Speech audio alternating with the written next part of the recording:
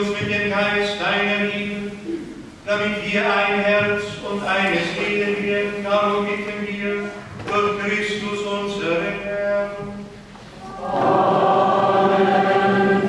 Bevor wir alle mit dem großen Gott wir loben dich, diesen festlichen Gottesdienst beschließen, darf ich uns allen den Segen des dreifaltigen Gottes erbitten. Und ich verbinde noch einmal den aufrichtigen Dank für alle Sorge und Mühe und diese ihre Martinskirche hier. Und ich danke allen, die jetzt heute hier zu diesem Fest beigetragen haben.